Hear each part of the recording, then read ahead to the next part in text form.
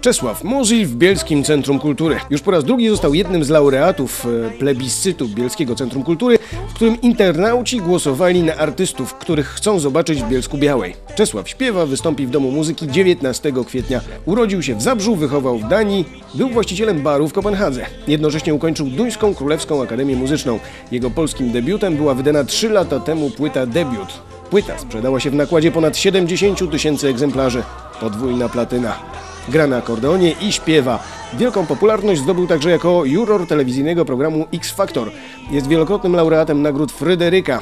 Gościnnie śpiewał na płytach zespołów Hey, Acid Drinkers oraz Gaby Kulki.